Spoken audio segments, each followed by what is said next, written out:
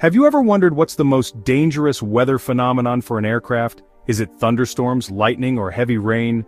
Well, one of the deadliest and most unpredictable weather hazards in aviation is wind shear. But why is it so dangerous? Let's find out. Wind shear refers to a sudden change in wind speed or direction over a short distance in the atmosphere.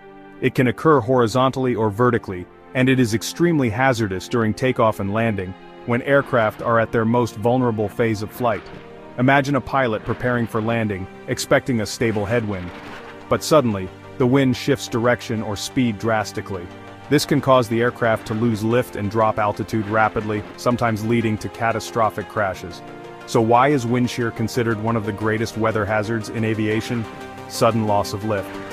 When an aircraft suddenly encounters a downdraft or rapid change in wind direction, it can lose lift, causing the aircraft to descend rapidly. Reduced airspeed. If the wind direction changes from a headwind to a tailwind during approach or takeoff, the aircraft's airspeed can suddenly decrease making it hard for the pilot to maintain control. Increased stall risk.